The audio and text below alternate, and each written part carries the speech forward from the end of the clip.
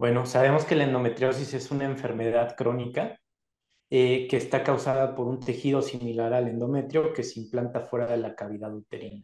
Es decir, se puede implantar en cualquier parte del cuerpo.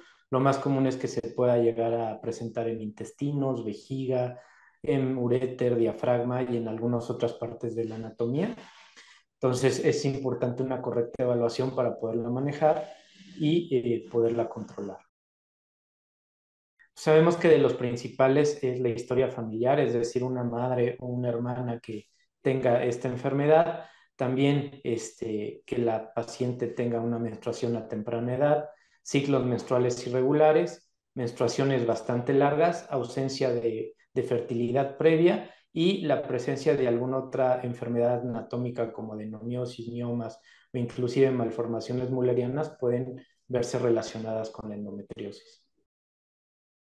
Bueno, en cuanto a la parte hormonal, sabemos que el principal eh, factor o el principal eh, determinante va a ser la producción de estrógenos. Esto va a hacer que estos eh, focos ectópicos de tejido similar al endometrio puedan responder a las hormonas y durante el ciclo la paciente presente dolor, inflamación, etcétera, secundario a la misma acción de estas hormonas. Cuanto a la parte genética, lo que ya habíamos platicado, eh, hay una parte muy relacionada con parientes de rama cercana que puedan presentar endometriosis y se ha encontrado que hay un factor heredable sobre esta enfermedad. Al igual que la parte inmunológica, sabemos que el sistema inmunológico va a ser ineficiente para poder contrarrestar estos focos ectópicos, lo cual eh, nos va a dar como resultado eh, alteraciones inflamatorias perpetuas que puedan molestar a nuestras pacientes y causar inflamación.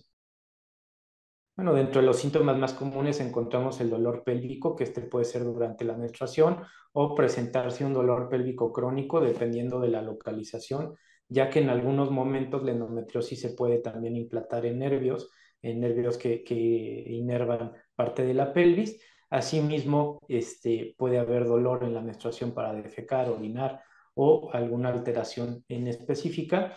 Y sabemos que una de las principales va a ser la infertilidad Sabemos que 10% de las pacientes a nivel mundial van a tener endometriosis y 50% de las pacientes con infertilidad pueden llegarla a presentar. También puede estar asociada fatiga, diarrea, estreñimiento, en algunos casos eh, náuseas y también puede verse afectada la paciente con depresión y ansiedad también.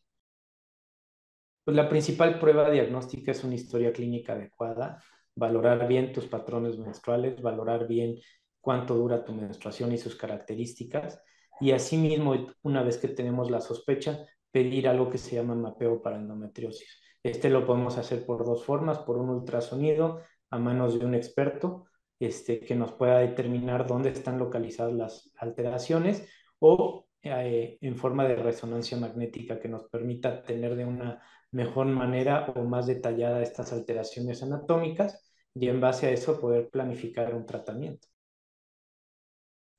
Habría que ver el contexto, eh, por qué viene nuestra paciente. Lo principal es valorar si es por dolor, por alteración en la calidad de vida o inclusive por infertilidad. ¿no? Dependiendo de todo eso, valoraremos qué es el mejor método, ya que pues, si hacemos una cirugía, la cirugía debe estar encaminada a tratar de quitar eh, toda la enfermedad en la parte pélvica. Sin embargo, si no nos estamos enfrentando a una endometriosis infiltrativa una endometriosis severa, pues podemos valorar otras opciones si es que llegara por infertilidad, encaminarnos una técnica de, reproducción asistida de, este, dependiendo de lo que requiera nuestra paciente. Claro, lo principal que puede afectar es que, como hablamos, este, estos focos de endometriosis se pueden implantar en cualquier parte. Lo más común es que se implanten ovarios, en trompas, o que cause adherencias en alguno de los casos, lo cual puede cambiar la anatomía de nuestro sistema genital y esto causar eh, de cierta manera una infertilidad. Asimismo, sabemos que eh, la misma endometriosis al presentarse eh, inflamación continua puede afectar los gametos, ya sean los ovocitos o los embriones, y también causar alteraciones dentro de la implantación embrionaria. Durante el embarazo, pues puede estar relacionado con algunas enfermedades como el parto pretérmino, dependiendo de qué tanto esté afectando a nuestra paciente, ¿no? O inclusive si tenemos en ovarios, poder necesitar una cirugía por endometriomas en cualquiera de estas eh, eh, etapas de la vida. Sí, así es, es una de las enfermedades más comunes que se aparecen en, en, las mujeres y tomar en cuenta que también va muy relacionada o va de la mano con neumatosis y adenomiosis, por lo cual, eh, aunque nos reportan que hay un 10% de pacientes a nivel mundial que lo presentan, pues eh, en la actualidad creemos que este porcentaje es un poco más alto, ya que eh, muchas de las pacientes pueden llegar a tener endometriosis desde leve hasta muy severa. Por eso es importante que alguien capacitado dentro del mundo de la endometriosis nos pueda poder hacer este diagnóstico.